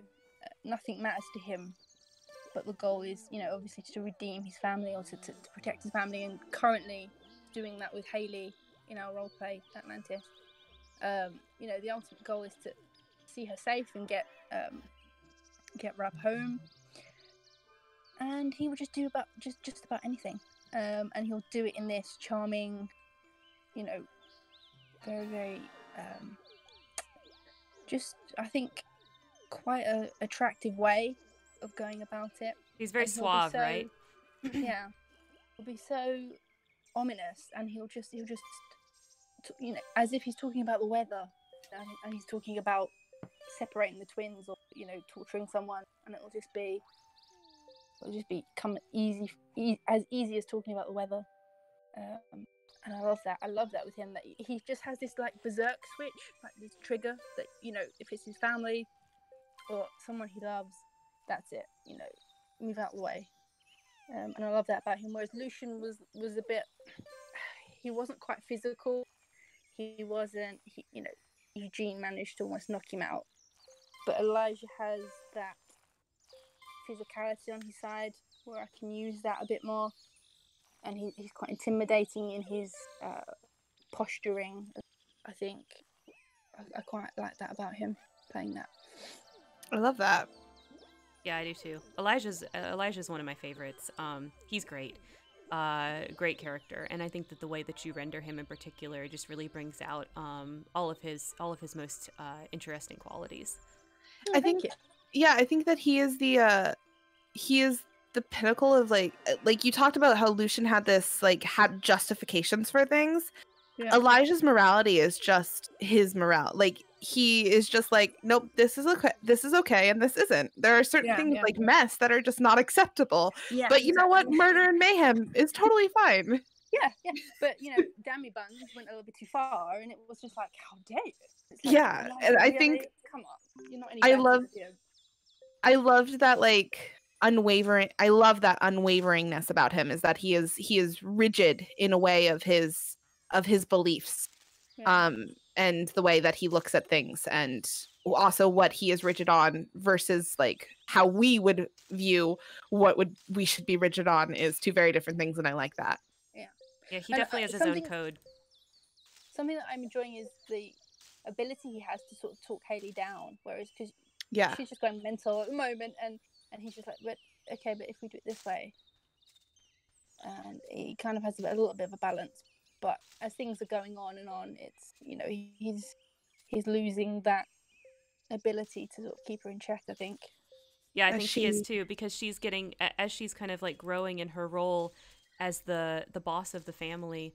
Um, she's kind of getting to where like you can't tell her no, right? Yeah. Like as as as she grows in power, she realizes she actually doesn't have to listen to anyone, regardless of whether she should or not. So Yeah. you know she gets she she kind of is able to to push him push his advice down, despite the fact that she should be taking it, right?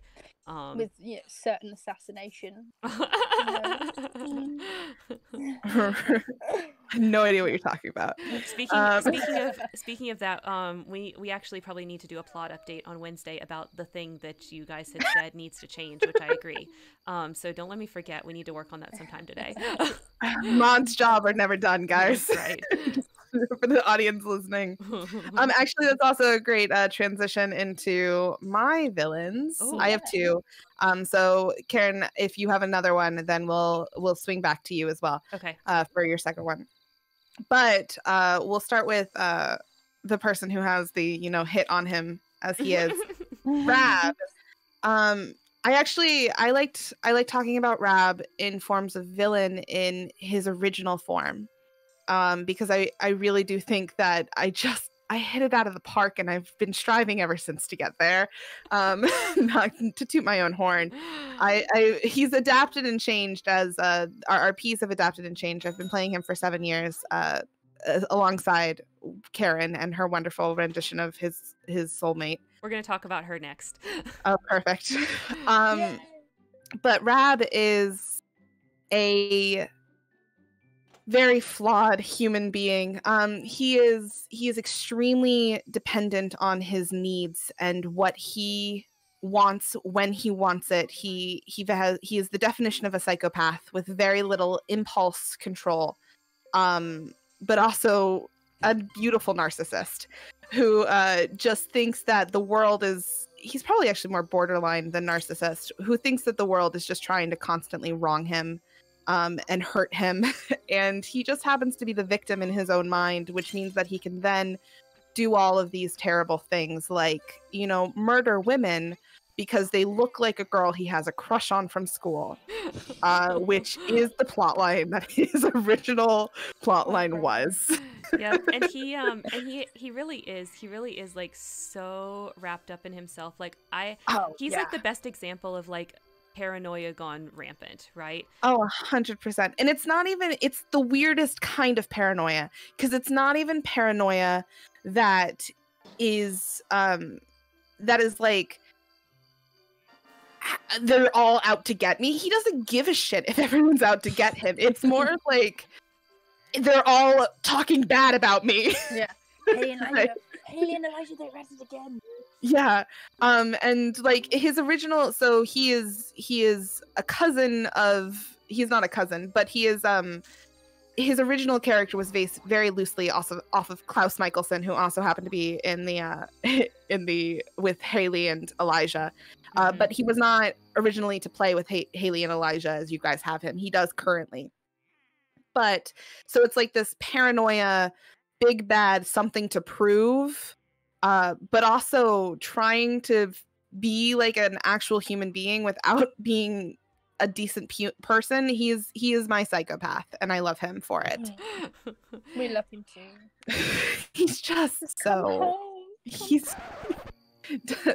he and he makes some ridiculous choices along the way and he he stumbles into things not expecting consequences like it's a very interesting uh thing to play because i as a player and writer know that there are going to be consequences but rab doesn't seem to understand that there are consequences to his actions so when he does things like just go crazy and um you know Lit- literally, like I think it was maybe an hour into the opening, and he basically made the entire role play go mental. Like, Oh yeah.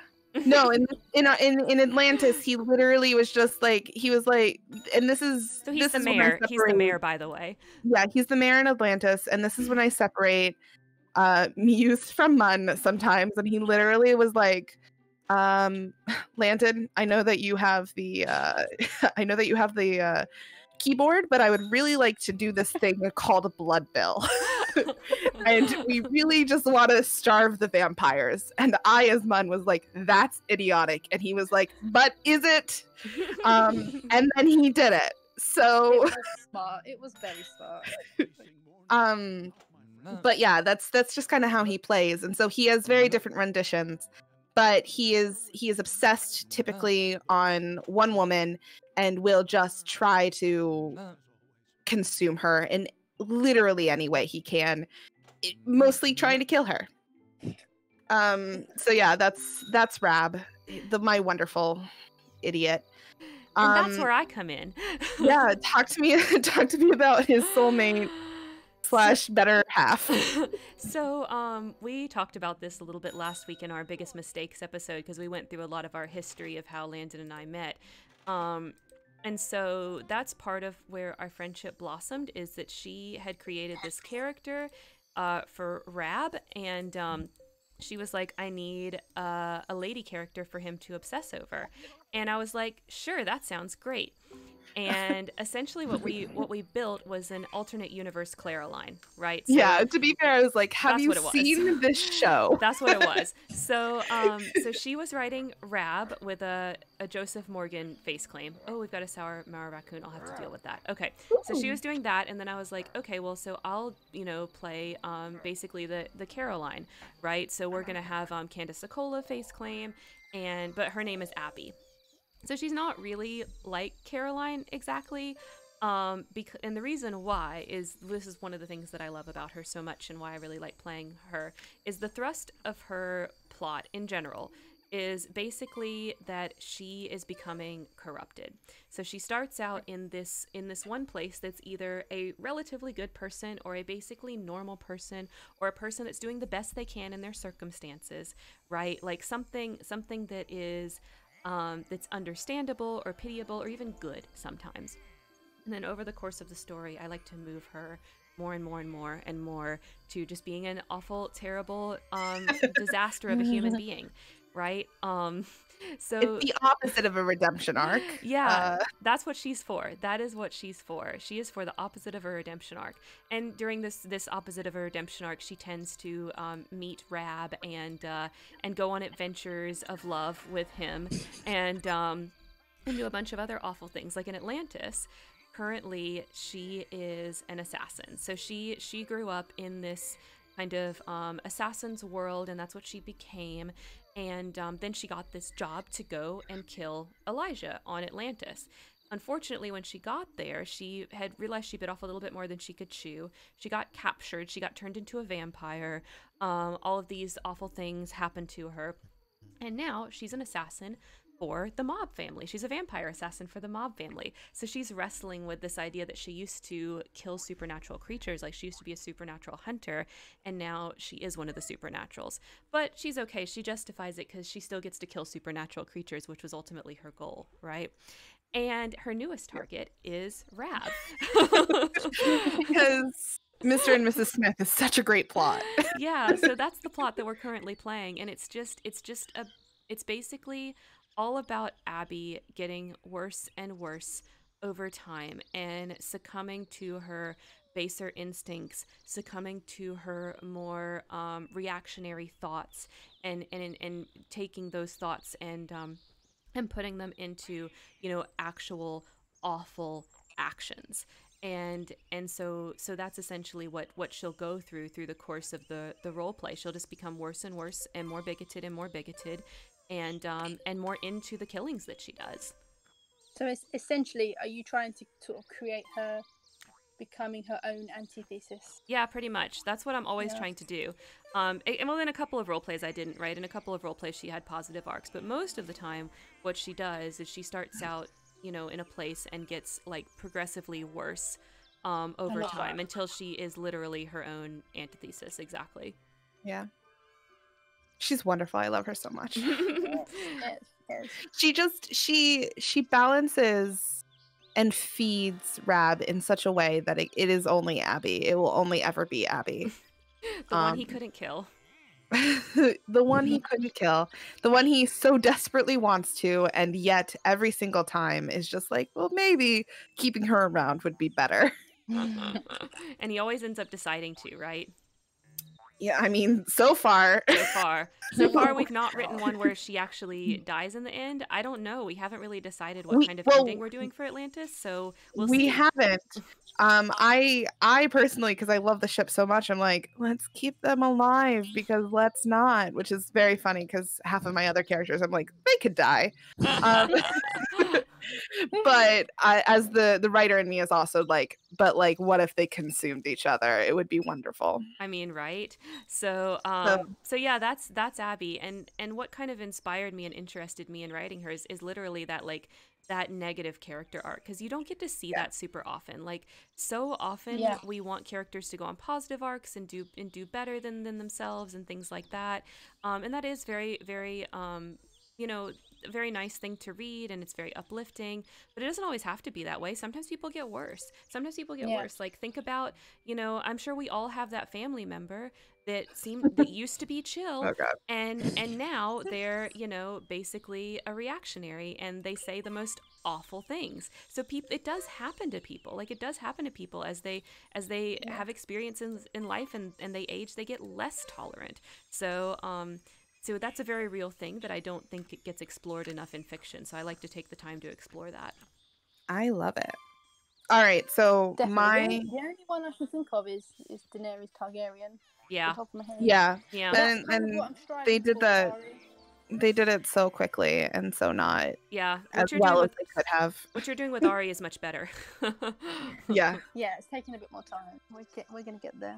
Yeah, Ari is perfect. Um all right, and so then my my second character or villain that I want to talk about is uh the trash fire goblin party that is uh party goblin that is uh Phoebe. Well, I can't even. Phoebe. Um Phoebe is the thing Phoebe is more than anything is a victim. Uh, if you told her that, she'd kill you. But she she is she is a victim of circumstance a victim of codependency and a victim of her own self-torment. Um she is the definition of self-destructive.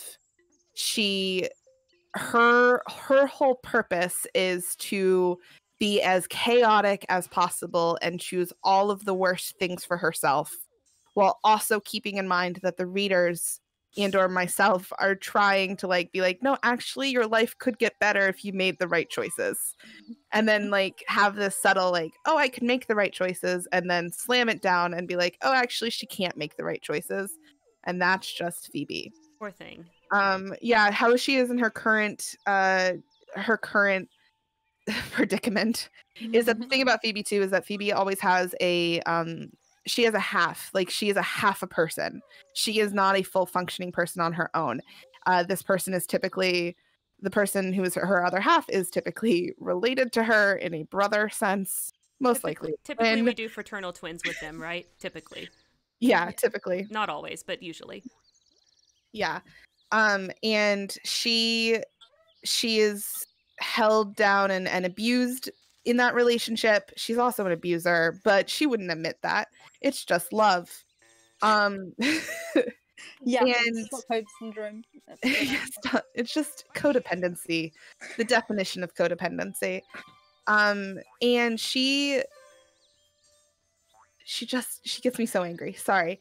she so right now as she is she is extremely traumatized from her history and her past so she has um mental disorders out the wazoo uh mostly suffering from some sort of dissociative disorder which has been actually really really fun to play and try to research and and uh and involve in a lot of her arcs where there's a lot of amnesia and dissociating um which has been great.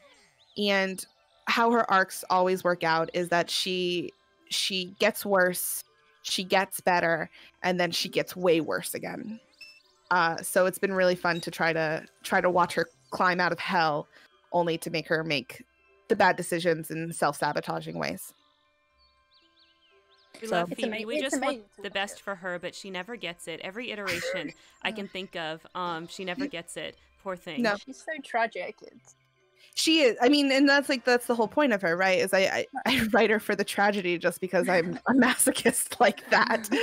Uh is that i Meister, what the Angstmeister. yeah the Angstmeister. It's true. no i i write her for the purpose of people do not always make the decisions that are best for themselves even if we think they will be so she's been an addict before she's been codependent she's had eating issues there's always some level of self-sabotage and while she is very rarely the th- the main villain it is typically her partner that is the big villain um she enables that and that makes her villainous in her own way.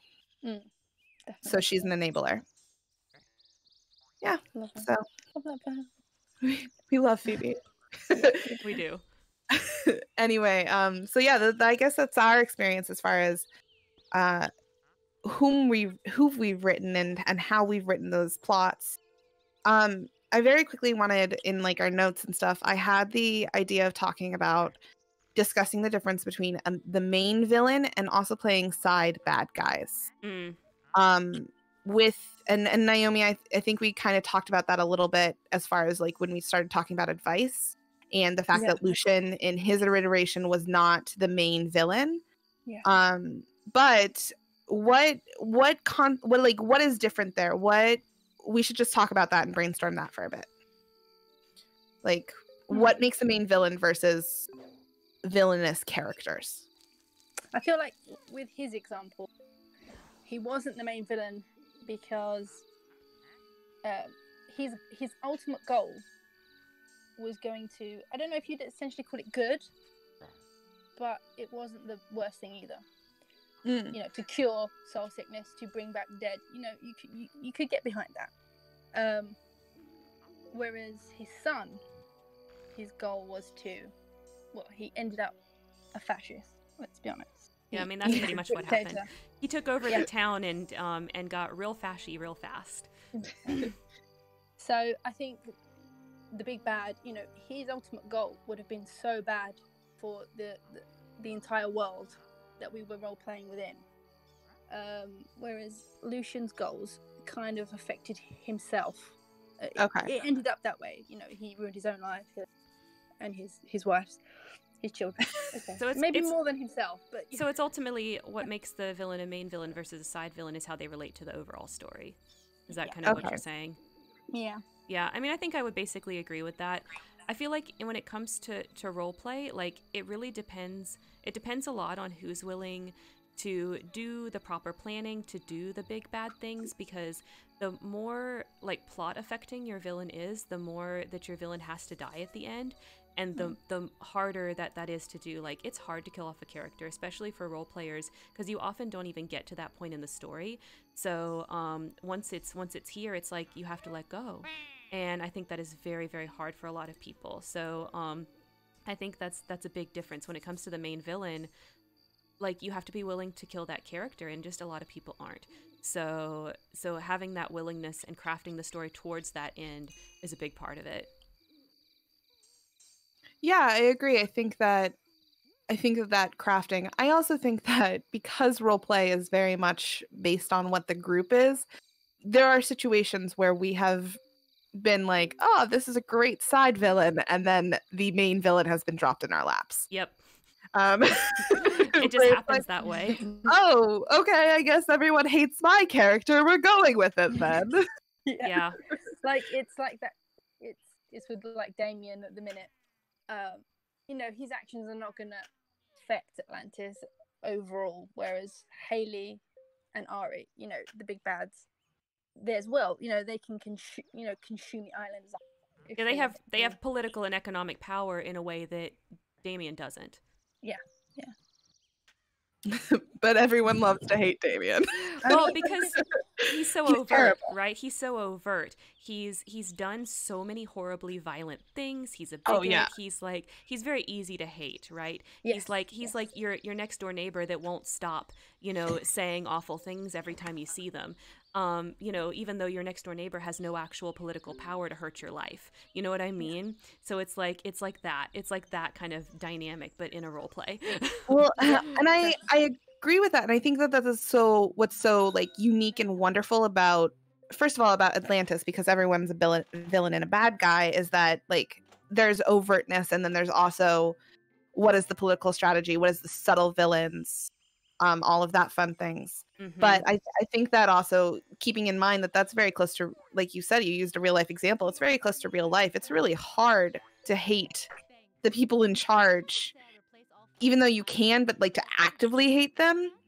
Uh, it's way easier to just be really annoyed and hate the person who like cut you off. right Yeah. like it's so think- it's so easy for me to go yell at my annoying bigoted neighbor it's not so easy for me you know to engage with um with a bigoted politician right like Yeah. they're very different things that comes under the you know the problems that you'll face when you do play a villain. Um, Yes. Just to go back to that, you know, it's kind of safe where you are. You know, you have to be behind a screen using a keyboard. Uh, you know, you're not going to get hurt. You know, your life isn't going to change. But in that situation, you know, it's easy to to have your character react in a way that isn't realistic for them because they're in such danger because you're safe. Yep. Um, and I think you will experience that a lot of times when you're when you're playing villains. If you if you do play villains prolifically, you'll you'll come across that. yeah somebody Um, that's like that will do something that's like that's not real like you would never no one would ever do that you would die like but Yeah. because it's a role play and because you're safe they'll do it because they know that the the truth is they can't kill your you can't kill their character um, unless they give you permission because that's it's a role play and you have to give consent so you know you encounter that um, that sort of struggle Yeah, absolutely. All right, so we are creeping up on two hours here. So give Okay. me we each of you, each of us will give one last piece of thought or advice as far as what it takes to either be a villain, what makes a good villain, anything about the discussion that we've just had. Uh, Karen, why don't you start? Give me give me your last words. Okay, so my one major piece of advice, and I know I've said this a lot, but but it's it's true, like it's from my heart. What I think is the most difficult thing about villains is being accepting of conflict. Like you have to be so willing to hurt your character, and not in like a superfluous way. Like it's got like lasting damage will be done to your character as a villain and that's something that you have to be okay with like you can't you can't just say like oh well they can have their feelings hurt like that's not enough if they're a villain you have to be willing to have them hurt and have them lose sometimes they don't have to lose every time but they have to lose enough that they are still a villain right because at the end of the day that's what makes them a villain is that they're not going to win the story Very true. Agreed. I like that. All right, Naomi. Naomi. I don't know why that that name came out. Naomi, go ahead and give me your uh, your last piece of advice on this topic. I think uh, just be careful uh, when you are allowing others to hurt your character or potentially kill your villain because there are a, good few people that you'll have ended up hurting characters in the roleplay. You want the most satisfying ending that you can. So Mm. in my mind, the the revenge should, or you know, the death of your character should go to those that they've hurt. Um, you know, it's no good just giving, you know, making the, or you know, just making a villain maybe get run over by a bus, or you know, uh, ending themselves. You know, that's not always the most satisfying ending for your villain. If you've spent maybe three months to a year, really um, you know making other characters lives a living hell you know they deserve part of the you know part of your villain and that, that, that's what i would say just be careful with with the ending Yeah, I agree with that. As far as if they, if everyone has a stake in it at that point, that you have to, you have to be aware that you are not just writing between you and an audience of one. You are now responsible for kind of everything and how that story comes together with a nice bow. So to keep that in mind. Yeah. Um, my advice and my last thing is, uh, do it. Try it. Try writing a villain. Try questioning things and questioning the morality of your character. I think it's really fun taking a character that it, you like and is morally good and twisting them and changing the rules a little bit. Uh, and that's a great way to start. Is just start twisting the rules. Um, try it because I think that everyone has the capability of writing it, and I think it's a really satisfying way to write characters, and it will really inform you as a writer um, and a reader how to look at characters differently if you are willing to cross over that villainness line. absolutely good last Um, words yeah Thanks. Agreed. All right. So very quickly, uh, before we do our, before we say goodbye and everything like that, I have a little bit of an article. It's not really an article. It's just like little fun news. Okay, tell us. Um, and I chose this particular one uh, because we have someone from across the pond joining us today.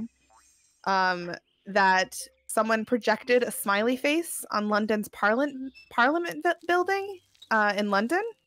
Oh Last night? How cute. Uh, it was 20, yeah, it was 27 yards Oh, I wide. the I don't even know this. Yeah, 27 yards wide. So it was right under like the clock t- the clock tower uh area. Uh and it was like from the ho- someone from the hospital had apparently projected it. Uh and it's just a big ass smiley face. And I think that we all need a little bit more smiley faces in our life. We do. I love it. How cute. Um, what a good, what a good little like art project for whoever did that. I yeah, I mean I think it's just wonderful. and all the wonderful like chaotic neutral or chaotic things that you can do with a projector that this has been just beautifully wonderful um to do a smiley face because there's so many worse things you can do. So I'm here for it.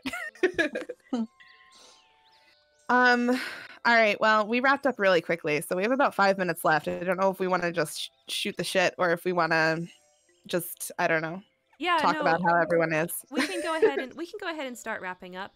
Um, so right. so we only have five minutes left. So in that last five minutes, you know, a couple of things that I want to kind of reiterate is that we are going to be taking this stream and posting it as a podcast.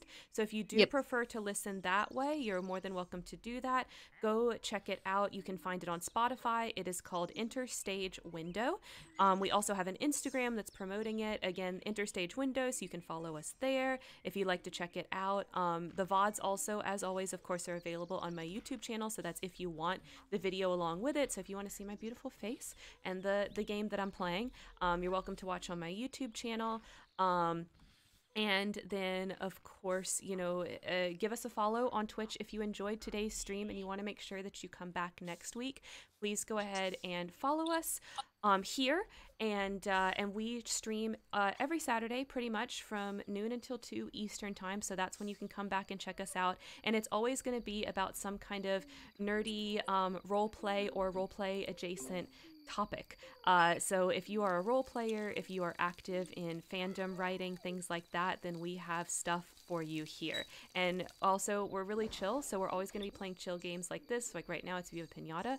Um, but you know, someday I'll finish Viva Pinata, right? And we'll play some other game. But it's always going to be something chill like this. So if you like just like kind of chill, hang out, talk about nerdy role play things, then then this is uh, this is the stream for you.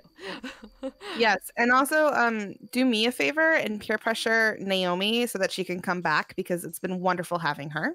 yes. Um we enjoy that. So uh please do that. Also a quick edit to what Karen said. Our Instagram is enter underscore stage underscore window. oh, okay. I'm sure that there aren't- underscores. You're good. I'm sure that there aren't many enter stage windows out there, but I also don't want them like expecting nerdy uh nerdy stream fun announcements and actually what they end up with is some creeper entering stage window. So Yeah, no. um, and then also we had no- Naomi as a guest this time, so thank you so much, Naomi, for joining us.